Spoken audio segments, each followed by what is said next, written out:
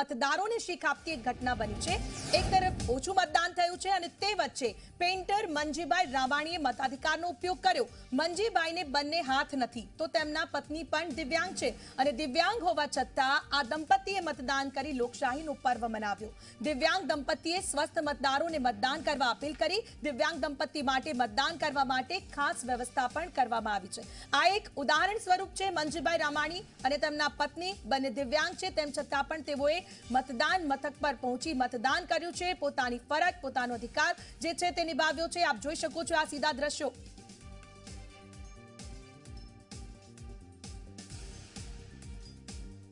અમદાવાદ મહાનગરપાલિકાનું મતદાન ચાલી રહ્યું છે. તમે સવારથી જોયું કે મતદાનમાં ક્યાંક નિરસ્તા જોવા મળી રહી છે. પરંતુ એવા લોકો પણ છે કે જેઓ દિવ્યાંગ હોવા છતાં મતદાન કરી રહ્યા છે અને એ લોકોને પ્રેરણા આપી રહ્યા છે કે જે લોકો મતદાન કરવા જતા નથી, ઘરે સમય પસાર કરી રહ્યા છે.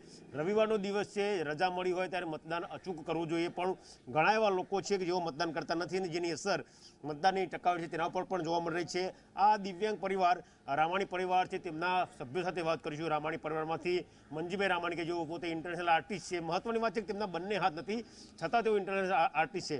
તેમના પત્ની કૈલાસબેન કે જેઓ અત્યાર સુધી જોબ કરતા હતા. છેલ્લા ત્રણ વર્ષથી તેમને જોબ છોડીને ગૃહિણી તરીકેનું કાર્ય અપનાવ્યું છે. તેઓ પણ દિવ્યાંગ છે. તેમની સાથે વાત કરીશું કે આજે મતદાન કરીને શું સંદેશ આપવા માગે છે? કૈલાસબેન મહાનગરપાલિકાની ચૂંટણી આજે મતદાન.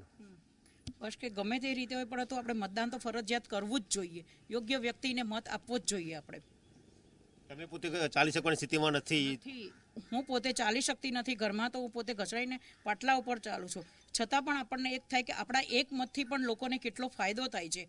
એ માટે થઈને આજે હું હેન્ડીકેપ હોવા છતાં પણ હું મત આપવા માટે આવી છું. કારણ કે આપણો મત બહુ કિંમતી છે. જે લોકો ચૂંટણીમાં ઊભા રહ્યા છે એના માટે આપણો તો મત ખૂબ જ કિંમતી ગણાય. બે વોટથી પણ લોકો હારી શકે છે.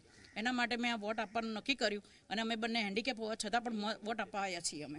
આજે પ્રમાણમાં અમદાવાદમાં મતદાન ઓછું છે. જે લોકોએ મત નથી આપ્યો જે લોકો હજુ સુધી મતદાન કરવા નથી ગયા એમને શું મેસેજ આપશો? એમને મેસેજ આપવો જોઈએ કે થોડો પણ ટાઈમ કાઢીને આપણે આપણે વોટ આપવો જ જોઈએ. ફરજિયાત એ કિંમતી વોટ લોકોને કેટલું એ આગળ વધારી શકે છે કોઈની જિંદગીમાં કેટલું મહત્વનું છે. એના માટે ગમે એટલો થોડો પણ ટાઈમ કાઢીને આપણે વોટ તો ફરજિયાત આપવો જ જોઈએ.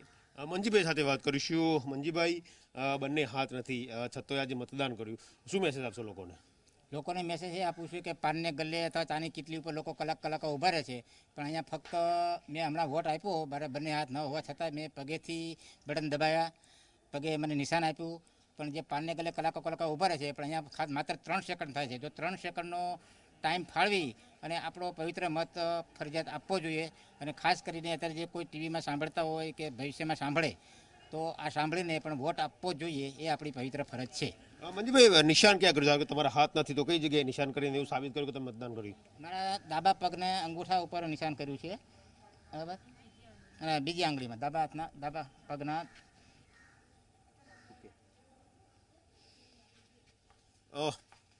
હવે શું પ્રેરણા મળવી જોઈએ લોકોને તમને જોઈને?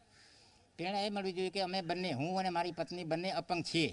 બરાબર ઘરેથી મારી પત્ની તો આવી શકે એમ નથી. છતાં અમે સાઇડકારમાં આવ્યા સાઇડકારમાંથી વ્હીલચેરમાં આવ્યા, વ્હીલચેરમાંથી અહીં ઝાડ ચડાવી અને છેક વોર્ડ નંબર છ સુધી રૂમમાં ગયા. ત્યાં સાહેબે ટેબલ ખસેડીને ત્યાં વોટિંગના કાઉન્ટર ઉપર જઈ શકે એમ નહોતો તો ટેબલો ખસેડીને પણ જગ્યા કરી આપી. એટલે મારો મેસેજ એક એટલો છે કે બધા લોકોએ ફરજિયાત આવવું જ જોઈએ અને વોટિંગ કરવું જ જોઈએ.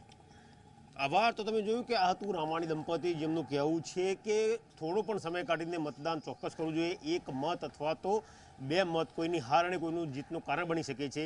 જો આ સ્થિતિમાં, દિવ્યાંગ પરિસ્થિતિમાં જો આ દંપતી મતદાન કરતો હોય, તો જે સ્વસ્થ લોકો છે અને ઘરે બેસીને માત્ર સમય પસાર કરી રહ્યા છે, એ લોકોએ ચોક્કસ મતદાન કરવું જોઈએ.